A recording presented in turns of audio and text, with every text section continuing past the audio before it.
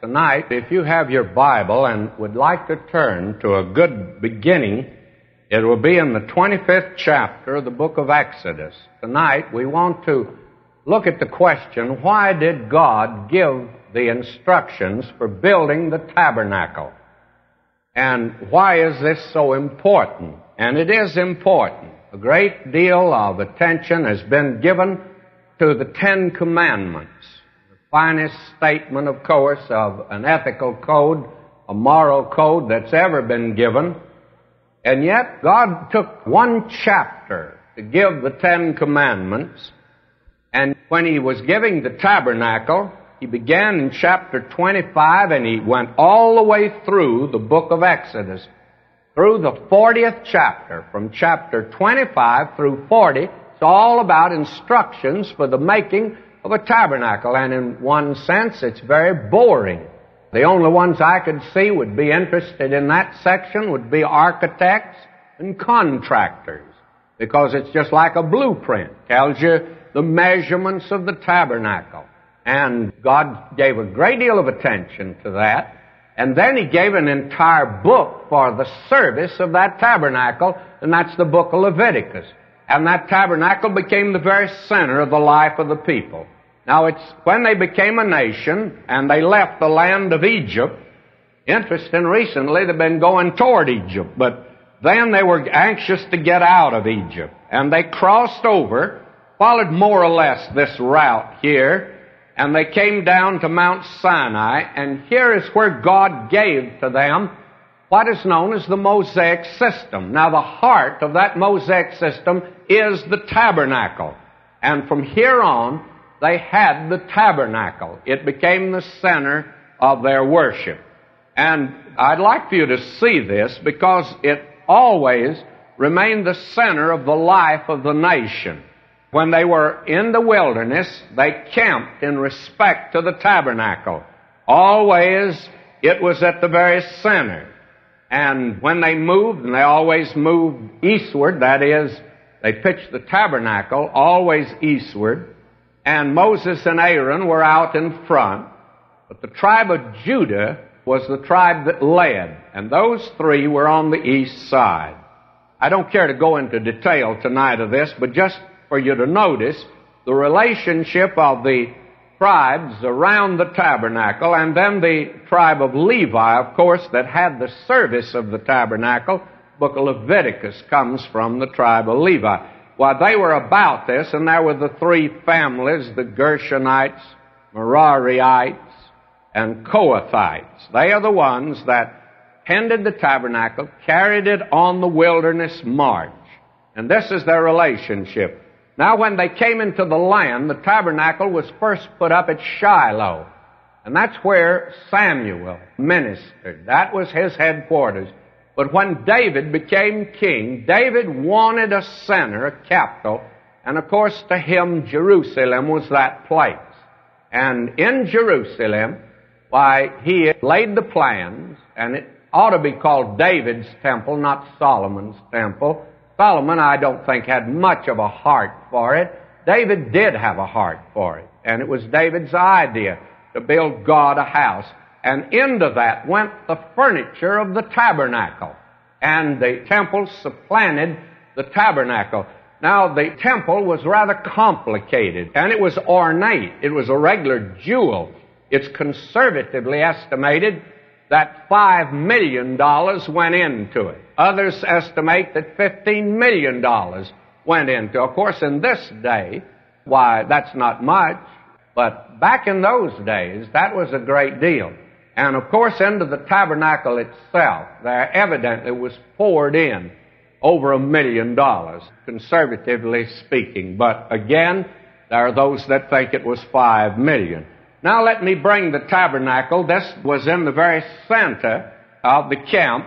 And I think the first thing that we need to note is the instructions now for bringing together the material and to answer a few questions.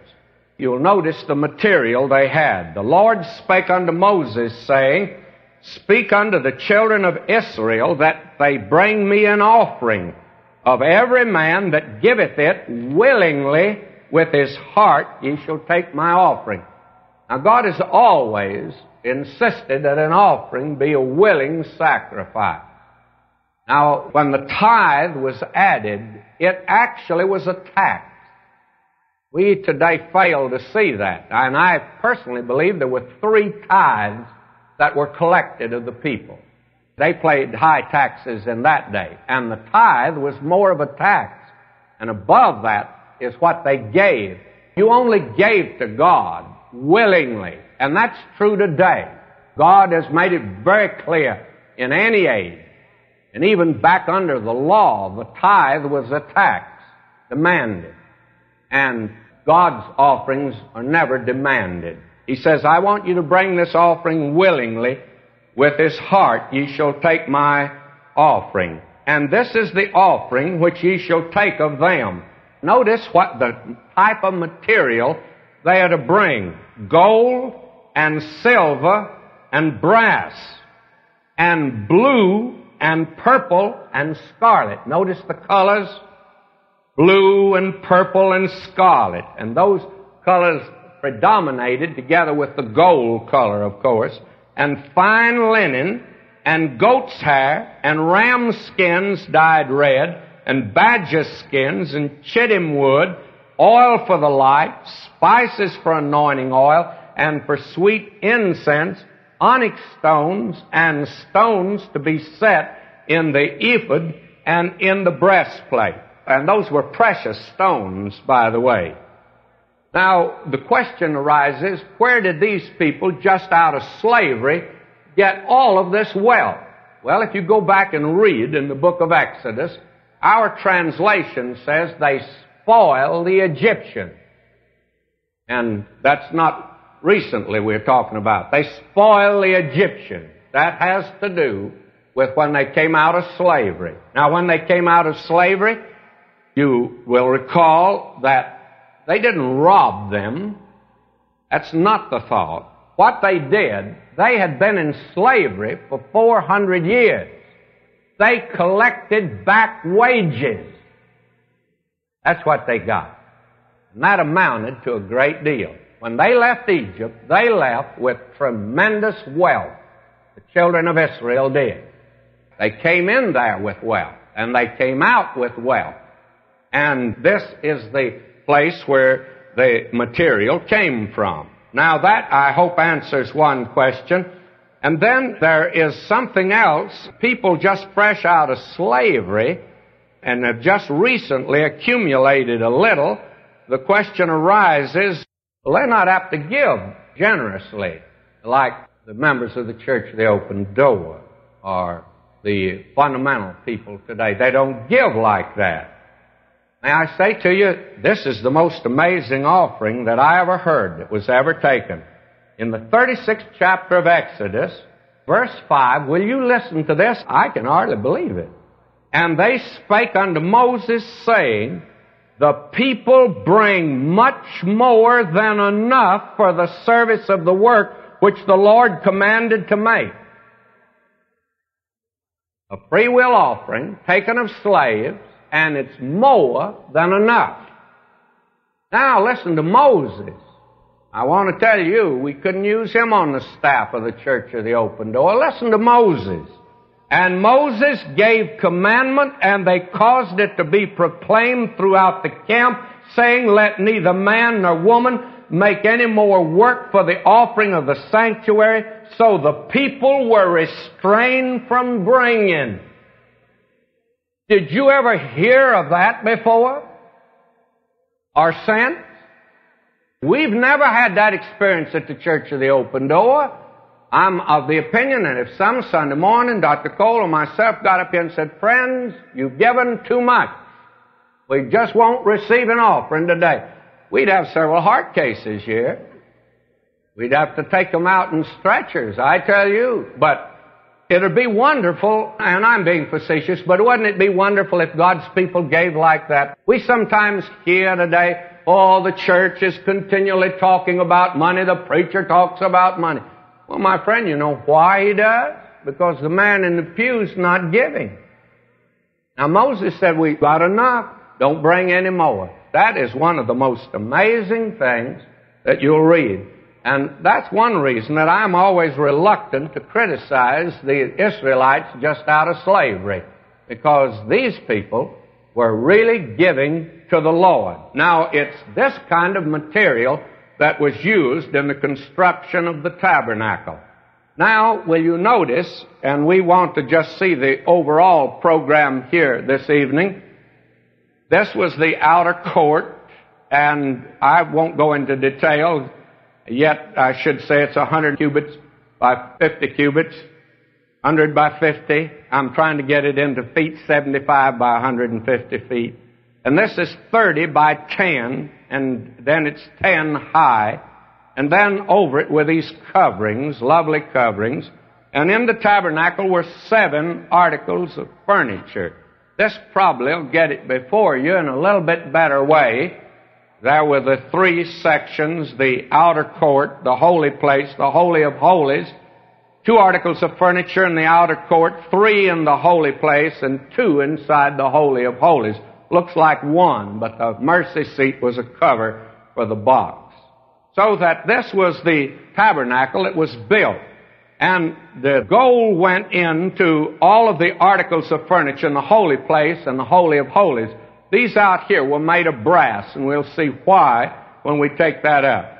And the boards and bars that we look at next time actually was the framework for the tabernacle itself.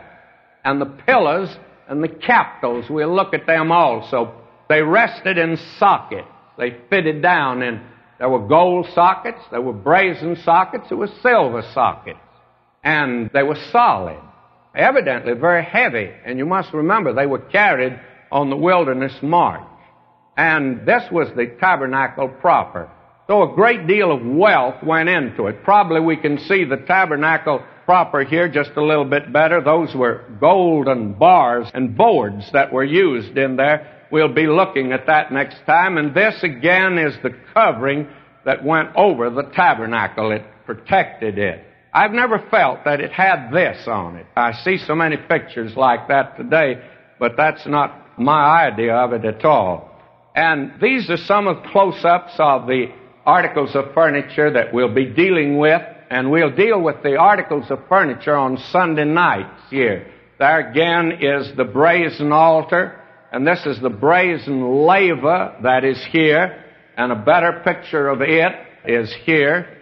These give you some conception of what went into the tabernacle. Inside was three articles. One was the golden lampstand, and inside the Holy of Holies was the ark. And the ark was of gold, that is, acacia wood covered with gold, inside and out. And on top was a highly ornamented cover called the mercy seat. Nothing in the world but a top for the box, but highly ornamented with the two cherubims that were there. Now that is what you have in the tabernacle. Now we want tonight to answer very briefly the question, why did God give the instructions for the tabernacle? Why did He do it? Well, may I say this, that the Word of God reveals that God wants fellowship with man, the creature that He created. And the reason that He created you, and the reason that He created the human family, was to have fellowship with Him. And to have fellowship with Him entails certain considerations, and one, of course, that that creature be a free moral agent. God didn't want a yes man. God wanted him in fellowship, but He didn't want him to be just a robot yes man. No one likes that around. That is the thing that have caused a great many men that have been great men that have fallen. They've had too many yes men around them. And the yes man told them what they wanted to hear and didn't tell them the truth. Hitler got bad advice. Very bad advice. They told him what he wanted to hear, and it was unfortunate. He made quite a few blunders. The Tsar of Russia had that around him and Napoleon, you remember one time rebuked his staff. They gave him the advice to go on into battle. And he said, wait a minute, you know that it's not wisdom to go into battle. And I don't intend to, but I just wanted to see what you'd say. And I think you fellows are just agreeing with me. And I don't want that. Then when he went toward Warsaw, his staff rebuked him. They told him, they said, look, we think you're making a mistake uh, going into Russia. And he did not listen to them. And of course that was the defeat of Napoleon. And God wants fellowship. But he wants that fellowship to be from a free moral agent who chooses God. Now that is the creature that God created in the Garden of Eden. Now notice what it says. In Genesis 1:27, so God created man in his own image, in the image of God created he him, male and female created he them. That's very important. Then over in the third chapter, verse 8, you'll notice this. God created man now in the image of God. Why? Well, here's a creature that can answer back to me. I can bestow my love and affection on him, and he can respond with his love and affection. Now that is for God the most wonderful thing in the world, and that is for mankind the most wonderful thing in the world. How tragic our churches have become today. A place where nothing but criticism, instead of being a place where there's an expression of love and then a response of love. That's what the church ought to be. I ought not to detour, but maybe this might be worthwhile. But when I was up in the San Francisco area, I went around to look at these hippies up there, and I want to say this, that I haven't changed my viewpoint, but my heart goes out to them. I feel sorry for them. I talked to a young boy. He asked me for 25 cents. Little scraggly beard, dirty. You could smell him a block. And he said to me, would you give me 25 cents? And I said, no, I won't give you 25 cents. But I said, I'd like to know what your viewpoint is. Why have you come here? And why are you out here begging? Well, he was disappointed. He came up there, there was to be free food, free marijuana, free LSD, free love, free everything. And he said, nothing's free. And he's greatly disappointed. He would go home. He lived down in the San Joaquin Valley in a little town. He said, I'd go home. He was ashamed to, of course. And I told him, I said, the way you look, boy, I'd be ashamed to go home too. But if I were you, I'd clean up and shave up. Look like a man and act like a man. Go home. I said, You're in the wrong direction. I tried to talk to him about the Lord, but he wouldn't listen. Now, they're in rebellion. They're in rebellion against religion. They're in rebellion against society. But do you know what they call themselves? The little flower people. And do you know what they have love in? And do you know why they are having love ins? Now let's face it, because we don't have love ins. And they haven't found love in their homes. That's what's the matter today. The church, you see. Now God created man. God wanted to bestow all of His love upon this creature and have that creature respond. But that creature's got to do it, be a free moral agent. But that creature failed. And we read in verse 8 of chapter 3, it's tragic. And they heard the voice of the Lord God walking in the garden in the cool of the day. Now we feel sorry for man, and rightly so. He's in rebellion against God now, running away from God. But have you ever stopped to feel sorry for God? God had come down apparently in the cool of every day. And I think up to this day, man had come, Adam and Eve had come, and oh, we found something new today. Oh, we thank you for it. How good you are. You've given us everything, and we thank you for it. And then God bestowed more love upon them, and they respond. Must have been wonderful, the fellowship that this creature had with his Creator. But now this day comes, and God comes. God knows what's happened. But God is following now through to reach this man. He comes into the garden. Be no fellowship today. God is holy. Man is now in rebellion against God, and when any creature sets its will against the will of God, that's sin. And I don't care how the theologians classify it, It's sin. Any creature puts its will against the will of the Creator. And so, this man now is in rebellion against God. And what does God do? God calls for him. And God searches for the man. Adam, where are you? Why is God looking for him? Because God wants to restore fellowship. Now there must be righteous ground on which a holy God can meet with a sinner and have fellowship with him. And my friend, the tabernacle was that place. So God and man must meet on righteous ground. And in the tabernacle there was an altar, and it was called the brazen altar or the burnt altar because on it were sacrifices made for sin. They recognized two things. First, man was a sinner, and second, that this little animal is picturing a sacrifice God will make someday for sin. And that is a message that God had to get over to man. And He gave him the tabernacle for that reason. Do you notice back here in the 25th of Exodus, right where I stopped reading, I did not read that next verse, and now I think I should read it. If we're proper, we'll read it. Let them make me a sanctuary that I may dwell among them. God says, make a place where I can meet with man. And the tabernacle is the only place. Now God never said, gather around the Ten Commandments and I'll meet with you there. Inside the Holy of Holies, in that box, the ark, was the Ten Commandments, but they were covered with blood. Had been broken. They were to tell out that man was a sinner and that God, though, is not going to judge him by that. God will judge him not on that basis. God will accept him on the basis of the sin offering that has been made and the blood has been sprinkled. And that, of course, pointing to Christ. Now, that is something that I think is very important for us to see. And when you come over to the 21st chapter of the book of Revelation, and I should turn there right now and let you see this.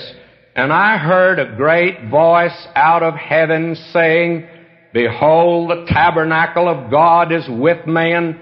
He will dwell with them, and they shall be his people, and God himself shall be with them and be their God. Now, we find that yonder in the future, God is going to bring man back into the place where he can have fellowship with him, and man will dwell with God. And that was a lovely thing the Lord Jesus said in the upper room. We always think of it, oh, he's going to come someday. Fine, that's good. But notice what he said. That where I am, there ye may be also. Don't you catch on the note there of his longing heart for fellowship with his creature, that where I am, there ye may be also. And now there can be that fellowship, the love of the Savior going out. And then they can respond with that. And I believe that that is the thing that's going to be uppermost in heaven. friends, is the fact that God loves us. It'll be so obvious, manifest then, and then we'll love Him. And best of all, we'll love each other. What a glorious place. I'm going to like heaven. You know why? Because everybody there's going to love me. Did you know that? Everybody in heaven's going to love me. Hallelujah. It would be a wonderful place, would it not? And that'll be true of you. You can say the same thing. What a glorious, wonderful thing. Now the tabernacle sets that forward. Now there's a second great truth that's in the tabernacle, and of course, that's what I emphasized in my book. That the tabernacle is a picture of Christ. And in view of the fact that I'm going to spend the rest of the time, both Thursday and Sunday nights, emphasizing that. I'll not emphasize it to any degree tonight other than to say this. I think that every cord in the tabernacle, every thread in the tabernacle, every color in the tabernacle, every piece of brass in the tabernacle, every tent pin in the tabernacle, everything spoke of Christ. Everything spoke of Him. And that's the reason that you have over in the 21st chapter of Revelation, and might be well to go back there again in verse 22 just to see this, for this is quite interesting. And I saw no temple therein, for the Lord God Almighty and the Lamb of the temple of it. He was the tabernacle all the time. And the tabernacle is God's portrait of Christ. And that tabernacle speaks of Him, speaks of His glory, speaks of the wonder of His person. And there's nothing just quite like it. Now, may I leave that there? That's the most important in my judgment. I put it number two tonight because I am coming back to it later on. In fact, that's all we'll talk about from now on. You'll get pretty tired of that. I can assure you. So, not to weary you tonight, let me move to the third one. And it's a miniature of the one in heaven. Now, I'm not just laboring a point here at all. Moses was told to make the tabernacle according to that which he saw in the Holy Mount. Let me turn to the eighth chapter of Hebrews, and I'd like to read to you several verses here that I think might be helpful in revealing this to us. In the eighth chapter now of Hebrews, and if you'll turn there, well, you can follow along. I begin reading well, let me begin at the very beginning. Now of the things which we have spoken, this is the sum. We have such an high priest who is set on the right hand of the throne of the majesty in the heavens, a minister of the sanctuary and of the true tabernacle. And when he says true, he means genuine. The genuine tabernacle is in heaven and every other one is a copy of it. This that we are given here in Exodus is a copy of the one in heaven, of the true tabernacle which the Lord pitched and not man. For every high priest is ordained to offer gifts and sacrifices, wherefore it is of necessity that this man have somewhat also to offer. For if he were on earth, he should not be a priest, seeing that there are priests that offer gifts according to the law that is, they would be Levites. Christ was the tribe of Judah. Who served, now listen, who served unto the example and shadow of heavenly things as Moses was admonished of God when he was about to make the tabernacle, for see, saith he, that thou make all things according to the pattern showed to thee in the mount. Now a pattern is a pattern of something and the reality is in heaven. I believe there's a real tabernacle in heaven. Now let me turn over to the ninth chapter of Hebrews. Maybe I just should lift out one verse. Verse 23. It was therefore necessary that the patterns of things in the heavens should be purified with these, but the heavenly things themselves with better sacrifice than these. For Christ is not entered into the holy places made with hands, which are the figures of the true, but into heaven itself, now to appear in the presence of God for us, nor yet that he should offer himself often as the high priest entereth into the holy place every year with blood of others, for then must he often have suffered since the foundation of the world, but now once in the end of the world hath he appeared, or end of the age hath he appeared to put away sin by the sacrifice of himself. Now, when Christ went to heaven, and that was before his ascension, remember he told Mary that morning, don't touch me, I've not yet ascended to my Father and your Father, my God and your God. He was then the high priest on the way to heaven. And by the way, the book of Hebrews reveals that Christ became a high priest by his resurrection from the dead. The minute he came back from the dead, he became the great high priest for believers. Now, he was on the way there to offer his sacrifice. Now that night, he said to his disciples, touch me, feel me. What had happened? He had offered his sacrifice. Now I believe that the Lord Jesus offered his literal blood there. And I don't want to labor this point. I have it in my book on the tabernacle, and if you want a correct viewpoint, you get that. And the only criticism I've ever had of my book on tabernacle that I've read of the book reviews was from a Baptist paper out of Ohio, and they really weren't critical. The reviewer just says now, he advised all the preachers to get the book, but he says, you be very careful. This man takes everything literal.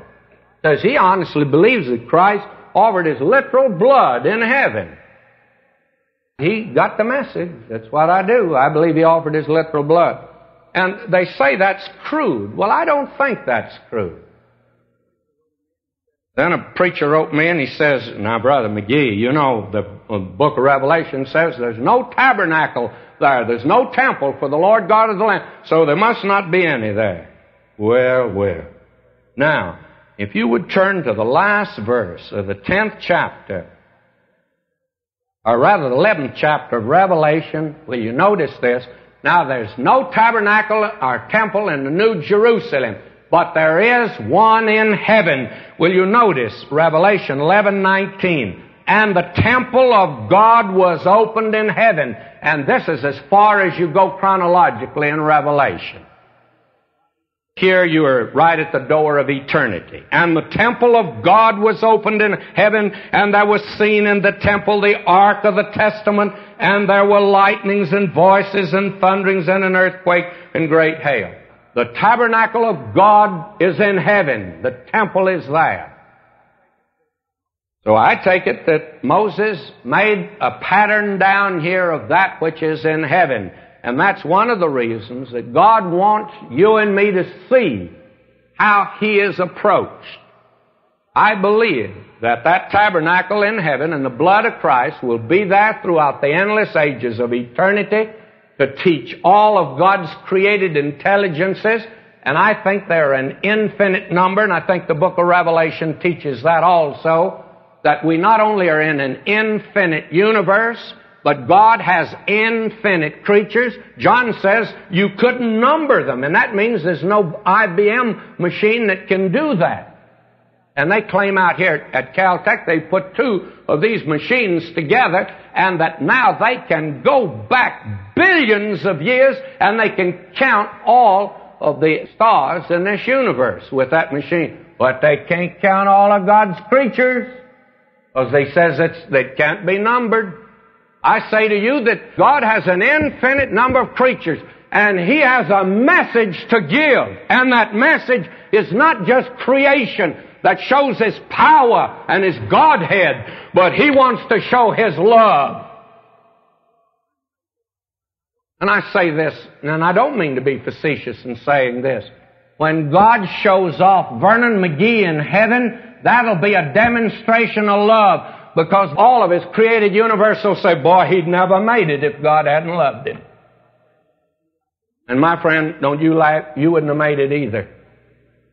But you won't be there.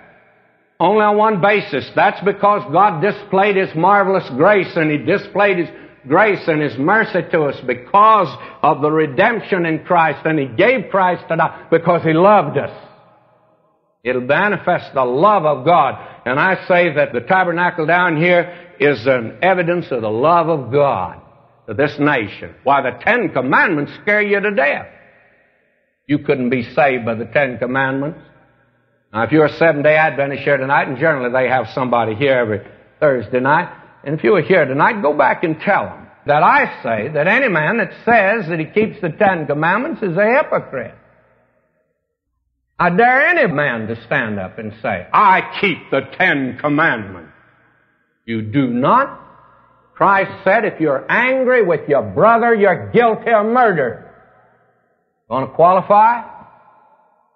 I'll turn you over to Chief Reagan tonight. Friend, you're a bunch of murder. We've all been angry. He says, if you so much as look upon a woman. I said that to a seven day Adventist. Great big red faced fellow. He said, I keep the Ten Commandments. I said, I'd like to put them down on you, brother. I said, the Ten Commandments says, thou shalt not commit adultery. He says, that's right. I said, the Lord said, if you so much as look upon a woman to lust after, you're guilty of adultery. Look me straight in the eye and tell me that you're not guilty. Great big old red-faced fellow, he got even redder. And he says, Shaw! Turned and walked out. He hadn't even answered me to this good day, and he can't answer. Don't kid yourself, my friend. You and I need to recognize there must be a righteous ground on which we as sinners can meet with a holy God. And that's one of the great purposes of this. And the other is it's the revelation of that in heaven which will demonstrate the love of God throughout eternity. Now I must be through. This is the fourth and the last. The tabernacle actually is a little picture of the church itself. The scripture for that, let me turn now to several verses here. First of all, I'd like to turn to 2 Corinthians 6, 1. Yeah, I don't know why I want to turn to 2 Corinthians 6 1, because that's not it. It's 6 16. Well, let me read that. And what agreement hath the temple of God with idols? For ye are the temple of the living God, as God hath said, I will dwell in them and walk in them, and I'll be their God, and they shall be my people. The church today, believers, God doesn't dwell in this building. Don't misunderstand me. That's a pagan notion. Think God could dwell in a building. And Solomon never thought that either. But the thing is that God indwells believers today. And that's the temple. Know ye not that your body is the temple of the Holy Ghost. But notice how Paul develops that over in Ephesians 2.22. In whom ye also are builded together for an habitation of God through the Spirit. So that the purpose of the tabernacle is to reveal to you that God is met and dwelt here with His people and thus today in the church and they are called, the church is called today the temple of God. Now, these are the four reasons that I believe that God gave the instructions for the building of the tabernacle. It is to set forth tremendous truth as far as God is concerned. It's not just a ritual. Now, one thing more, and I'm through, and it's this. What is the difference between the tabernacle and any other pagan temple of that day? And Egypt was filled with them then. Memphis probably had over a thousand. Seems unbelievable. They had some of the loveliest temples. What was the difference between the tabernacle and the temples of that day? Just one difference, friends. That's one of the things today that's quite interesting. The critic always says, well, after all, the Egyptians had temples. They burned lamps and they wore robes and they marched around. Well, candidly, what else can you do in a ritual? You've got to burn candles and you've got to march around. If you're going to have a ritual, you just can't sit there. And so, what is the difference? The difference is this. The tabernacle was supernatural. There was a pillar of cloud over it by day and a pillar of fire over it by night. God says that. These are the only people that ever had any visible presence of God we don't have in the church today. That's the reason this crowd can get by with God is dead. Well, that movement, by the way, it's dead. The movement that God is dead, it's dead now. But the thing is, how did they get by with it temporarily? Well, because you can't bring God out. A great many people say, bring him out where I can see him. Well, that's not the way it's done, my friend. May I say to you that the children of Israel had the visible presence of God in their midst when God was identifying them, listen to him. Who are Israelites? To whom pertaineth the adoption and the glory? They had the Shekinah glory. They had that that no other people have ever had. The visible presence of Almighty God. And that, by the way, was a preparation for the coming of the Messiah into their midst. because he came visibly. God manifested in the flesh, and it's no accident that John, the critic years ago, the uh, school in Germany, began higher criticism, Graf Wellhausen School. They made the statement, for instance, concerning the Gospel of John, that John was writing from Greek philosophy. And then all of a sudden it caused a great many outstanding conservative scholars to begin to study the Gospel of John and they found out something they'd never noted before. That if there is one gospel that is not Greek but Hebrew, it's the Gospel of John. And only John could have said, the Word was made flesh. And the language John uses is amazing. And he pitched his tabernacle among us. And that's the reason the Lord Jesus said there that day, destroy this temple and in three days I'll raise it up. What temple? They thought it was the buildings. He meant the body. God was back in the temple and in their midst visible. Tremendous. We're going to pick up there next time, and Sunday night, I want us to see the beauties of it.